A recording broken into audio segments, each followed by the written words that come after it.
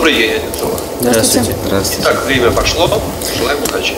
Две минуты на обсуждение. Команда из трех старшеклассников Одинцовской лингвистической гимназии. Позади уже два этапа – школьный и муниципальный. Теперь лучшие знатоки представляют округ на третьем, областном этапе.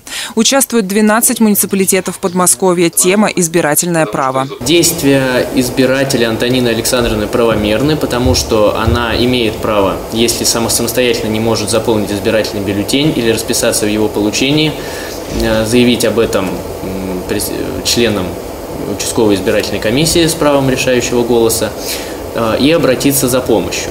Исчерпывающий ответ с этим согласна и комиссия. Необычный формат «Телемост» позволяет каждому ученику отвечать в своих стенах, а это, как известно, тоже помогает. Даниила Зинькова команда выбрала ответчиком. На Олимпиадах он участвует часто. Избирательное законодательство изучает не только в рамках подготовки к Олимпиаде. Он хочет стать юристом и попробовать себя в политике. На выборах был, но только с родителями. Ждет, когда исполнится 18 лет.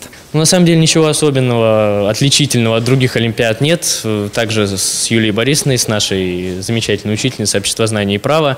Э, сами читаем, готовимся. Нам книги раздали от избирательной комиссии Московской области. Что такое государственная власть, как устроены выборы и чем отличается общенародное голосование от референдума, для этих ребят сложных вопросов нет. Изучить избирательное право без прочтения главного закона страны Конституции невозможно.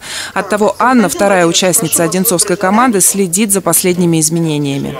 По поводу правок изменений Конституции, мне, меня больше всего, как э, ученица 11 класса волнует, отразится ли это на едином государственном экзамене по обществознанию, который я буду сдавать уже через меньше, чем три месяца. Олимпиада по избирательному праву проходит в Подмосковье не в первый раз. В ней по статистике участвует более тысячи школ Подмосковья. Специалисты считают, что это не только хорошее подспорье в изучении предмета, но и потенциал для избирательных комиссий. Позволяет действительно поднять э, интерес к выборам, к избирательной системе, поднять знания э, людей, наших молодого поколения подрастающих избирателей будущих и, соответственно, ну, вовлечь их в избирательный процесс. Для нас, как для территориальной избирательной комиссии, это еще и такое окно для кадрового резерва. То есть мы, конечно же, будем э, обращать внимание то есть после того, как им исполнится 18 лет, и работать в том числе в составе участковых и других избирательных комиссий. Сейчас как никогда это очень важно. Я как депутат тоже горжусь, что у нас есть такие ребята, которые идут на такие интересные формы проведения Олимпиады. И надеюсь, что мы победим.